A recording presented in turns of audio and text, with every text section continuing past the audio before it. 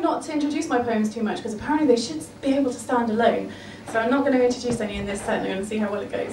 But this is called A Poem About a Shoe. I received a letter from your solicitor today telling me I really must stop writing poems about you or you will sue. She said, my client insists that you refrain from slandering his name in the public poetry domain. So here, let me make this clear, this is not a poem about you. This is not a poem about a man who screws around. It is not a poem about boozing, losing, drug choosing, smirking, work shirking, and just generally jerking off. this is not a poem about you. This is a poem about a shoe. Once upon a time, across a crowded room, I saw a shoe, and he came up to me and he said, hey, you, and I said, who? And he said, you, and I said, you're talking to me, shoe? And he said, yeah, you, how do you do? We seemed to fit, and for a while there, there was nothing I couldn't do with my shoe. We were tied together.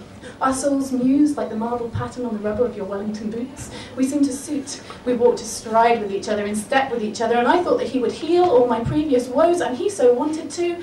He caressed my toes and let his tongue go loose. But then, one day, my shoe said, hey, there's something I want to say. I want to stray. It's just something us shoes have got to do, though it's actually less about me and more about you. I see these other feet, it's like shoe porn, I can't help it, I've got the shoe horn. I want to myself in fetish play. And by the way, your best friend wore me yesterday.